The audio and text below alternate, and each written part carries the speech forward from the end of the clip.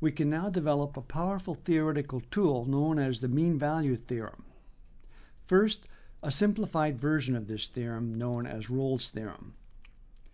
The French mathematician Michel Rolle, who lived from 1652 to 1719, was a brilliant algebraist and geometer who was awarded a lifetime pension for his accomplishments. When the calculus was invented, he criticized it as a collection of ingenious fallacies. However, he changed his mind later on and helped establish the calculus on a rigorous foundation by, pre- by presenting this important theoretical tool which now carries his name. Rolle's theorem states the following Suppose that f of x is continuous on a closed bounded interval and is differentiable on the open interval.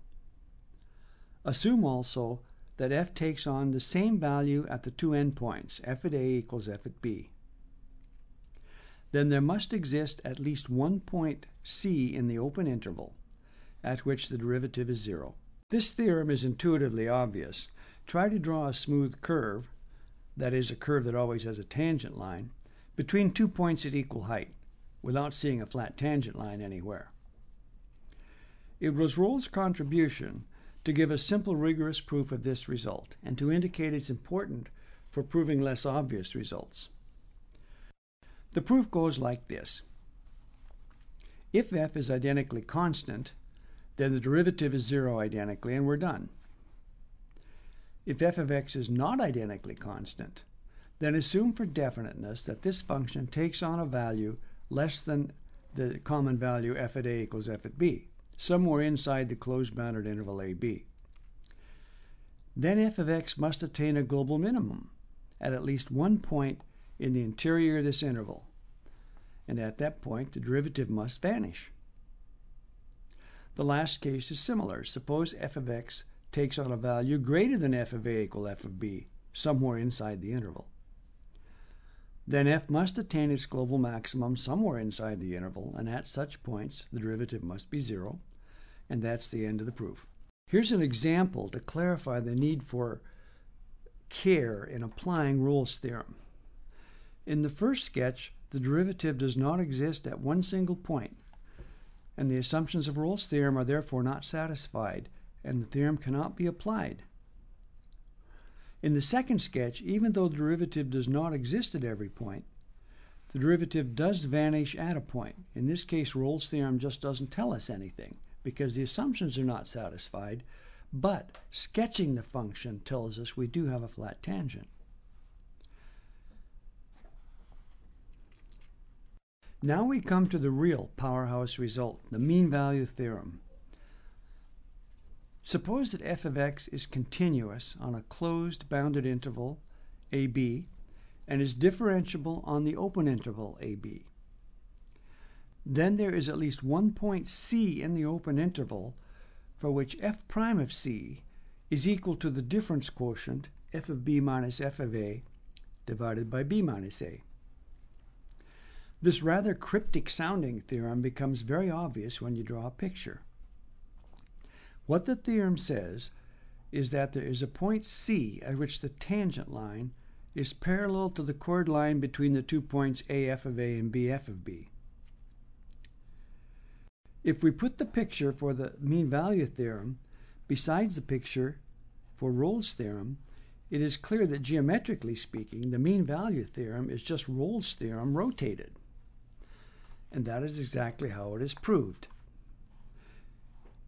To prove the mean value theorem, we define a new function h of x equal to f of x minus the difference quotient times x minus a. This algebraically performs the geometric rotation we need because h of a equals f of a and h of b equals f of a. It's a very simple calculation. So the new function h satisfies the assumptions of Rolle's theorem, and we can assert that there must ex exist a point C in the open interval AB for which h prime of c is 0. And when you calculate h prime of c, you conclude that f prime of c minus the difference quotient is 0, which is the same as saying that f prime of c is the slope of the chord line. Now let's look at an example to get a practical feeling for what this theorem is saying. Let f of x equals 2x cubed plus 7. This function is continuous and differentiable everywhere, so we can apply the mean value theorem on any interval. For example, consider the interval 1, 4. The mean value theorem states that there is a point c between 1 and 4 such that f prime of c is equal to f of 4 minus f of 1 divided by 4 minus 1. Now f prime of c is 6x squared, or 6c squared, and so that must be equal to 2 times 4 cubed plus 7 minus the quantity 2 times 1 cubed plus 7, all divided by 4 minus 1. So you do the arithmetic. The mean value theorem does not tell us how to find c, but in this case we can find c by solving this quadratic equation. c squared is 1 sixth of 128 minus 2 over 3, which is 10.5. So c is roughly the square root of 10.5, which is about 3.24. If we change the interval, then in general c will move. For example, if we consider the same function on the interval minus 2 to plus 3, then the mean value theorem asserts that there is a number c such that f prime of c is f of 3 minus f of minus 2 over 3 minus minus 2. And that gives you a, a very different quadratic equation, which you can solve, and you get c equals plus or minus 1.527. Notice that we now have to allow for both negative and positive square roots since our new interval contains negative numbers. In fact, both values of c are valid. The slope at each of these points is equal to the slope of the chord line between minus 2f of minus 2 and 3f of 3. The main use of the mean value theorem is improving inequalities and theoretical results. For these applications, it is often useful to restate the conclusion of the mean value theorem as either f of b minus f at a is exactly equal to f prime at c times b minus a, or you can state it as f of b equals f at a plus f prime at c b minus a. In other words, multiply both sides of the original conclusion of the theorem by b minus a for the first statement, and then add f of a to both sides for the second. For example, here's a theorem. Assume that f of x is differentiable on the open interval pq, and that f prime is greater than 0 on all of this interval. Then f of x is strictly increasing on the entire open interval pq. Stated more concisely in mathematical notation, if f prime of x is positive for all x in pq, then a less than b implies f of a less than f of b for any points p less than a less than b less than q. The mean value theorem reduces the proof of this result to one line once we recognize that the existence of the derivative at every point of ab implies f is continuous on this interval. Given a and b contained in the open interval pq, there exists a point c between them such that f of b minus f at a equals f prime at c times b minus a, which is a positive number by assumption. This is the result of the mean value theorem. Of course, we can prove the symmetric result for the case when f prime of x is less than 0 on an interval pq, in that case, you get f of b minus f at a is f prime at c times b minus a. But now b minus a is positive, f prime at c is negative, the product is negative. So f of b minus f of a is negative, so f is strictly decreasing. Finally, we can prove that if f prime at x is identically 0 on an open interval pq, then f is constant on this interval. Because in that case, f of b minus f of a, by the mean value theorem, is exactly equal to f prime at c times b minus a for some point c between a and b. But f prime at c is 0 no matter what c is. And therefore that product is 0, and therefore f of b minus f of a is 0, and f is constant. The mean value theorem can also be used to prove important inequalities. For example, for any number numbers a less than b, there is a point c between them such that the cosine of b minus the cosine of a is equal to its derivative at c times b minus a. So that's the product minus the sine of some number c times b minus a. This in turn implies that the absolute value of cos b minus cos a is equal to exactly the absolute value of the product minus sine c times b minus a. And that's never any bigger than the number b minus a, because the sine of c is never bigger than 1 in absolute value. So in fact, we come up with an inequality that the cosine of b minus the cosine of a is never bigger than b minus a.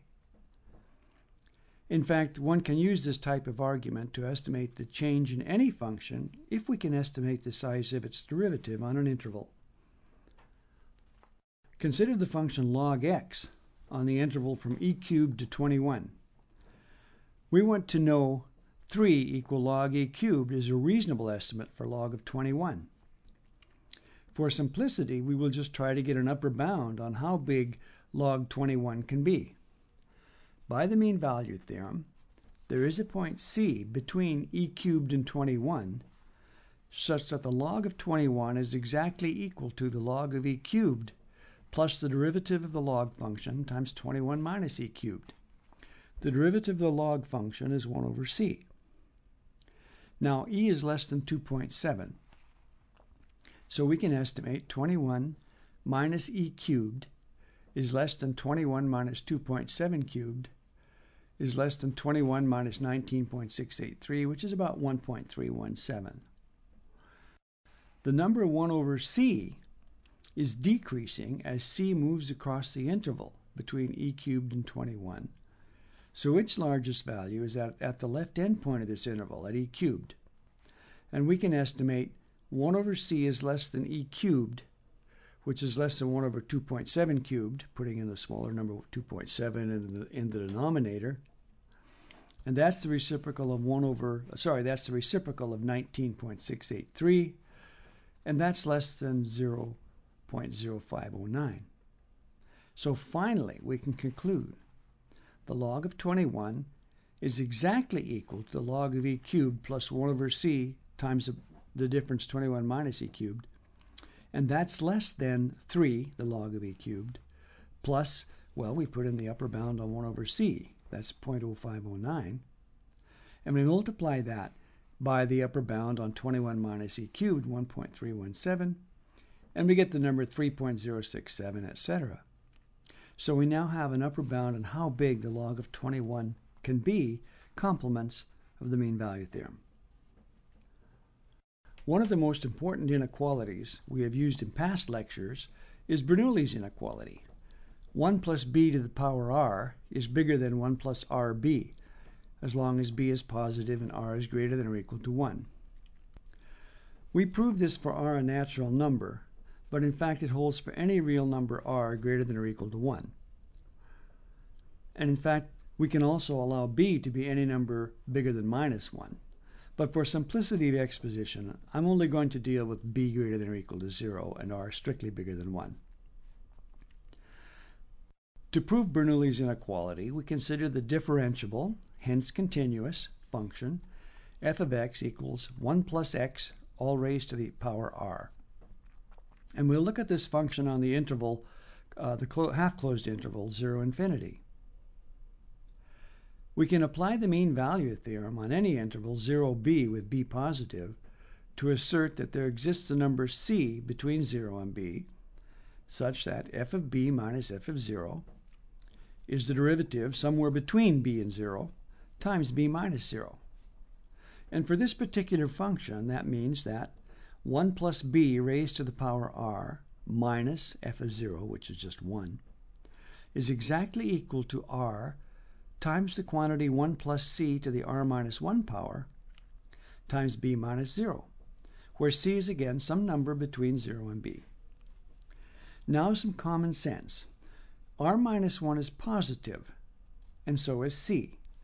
So 1 plus c raised to the r minus 1 power, even if that's a root, will be bigger than 1.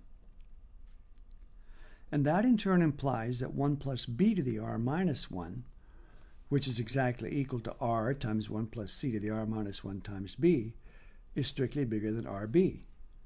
Now just add 1 to both sides, and you've got Bernoulli's inequality.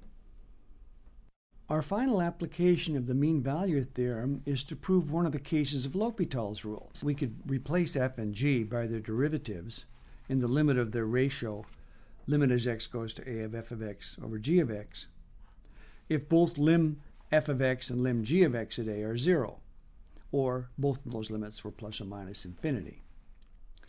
For the case when both f and g have limit 0, we can prove the validity of L'Hopital's rule by using an extension of the mean value theorem. The idea is to replace the ratio f over g by the difference ratio, setting g of a equal f at a equals 0, f of x over g of x becomes f at x minus f at a over g at x minus g at a. Now by the mean value theorem, there's a point c between a and x such that f at x minus f at a is f prime at c times x minus a. And by the same token, there's a point D between A and X that does the same thing for the function G. G at X minus G at A is G prime at D times X minus A. So we can write the ratio f at x minus f at a over g at x minus g at a as f prime at c over g prime at d because the x minus a's cancel. Well, the good news is we've replaced the ratio of f to g by a ratio of their derivatives. The bad news is that the derivatives are, as far as we can assert, being evaluated at two different points. What we need is a mean value theorem that says that we can use the same point, that is, the ratio f of b minus f at a over g of b minus g at a can be replaced exactly by the ratio f prime at c over g prime at c for some c. To me, it's a miracle that this theorem holds for reasonable assumptions on f and g and it is called the extended or generalized mean value theorem, or sometimes Cauchy's mean value theorem, since he's the fellow who proved it. It states, if f and g are continuous on a closed interval ab and differentiable on the open interval, then there's a point c in the open interval, such that the, the quotient of differences, f of b minus f at a over g at b minus g at a, is exactly equal to f prime over g prime, both evaluated at c. The proof is approximately two lines. Form the special function h of x equal to f of b minus f at a times g minus g at b minus g at a times f. Note that h of a and h of b are equal, and so we can apply Rolle's theorem there is a point C between A and B at which h prime of C is 0. When you write that out, you get exactly the result of the generalized mean value theorem. f of b minus f at a over g at b minus g at a is f prime over g prime at c. So, to recap, we discussed at some length precise definitions of local and global extrema and proved that for a smooth function, the derivative will vanish at an interior local max or min. This gave us Rolle's theorem, which asserts that a smooth function that takes the same value at two points must have a flat tangent somewhere between. Rolle's theorem, in turn, gave us the mean value theorem, which is a powerful tool for pro providing rigorous proofs of intuitively obvious results, and also gives us all kinds of important inequalities and estimates. Finally, we proved the generalized mean value theorem, which immediately provides a proof of one case of L'Hopital's rule.